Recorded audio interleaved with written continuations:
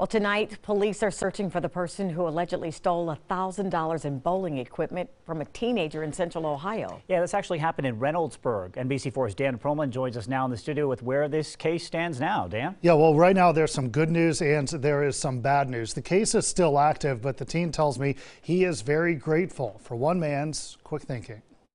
As this cell phone video shows, it's my obsession. It's something Cameron Brocious loves. Bowling is like a huge portion of my life right now.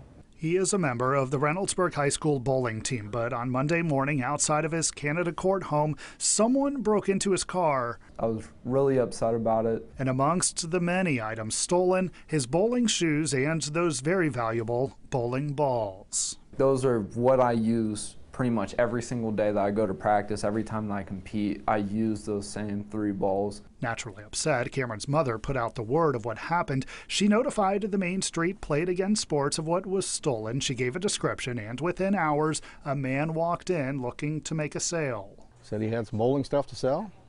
I pulled it out, looked at it, looked at the special markings that was on the ball, his initials, and I knew the stuff was his his, meaning Cameron. So Chip Tate took the equipment while the seller took off. He left the stuff and asked me to promise him that I would get the stuff back to the owner. And that is exactly what Chip did. The bowling balls are now back home. They're back with Cameron. I'm like really grateful. A teen who is very happy that Chip and the store helped. That was a huge favor that they did for us, and I'm, I'm really thrilled about it.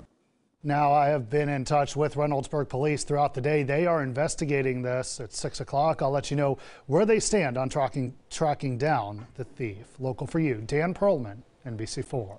All right, Dan, thank you.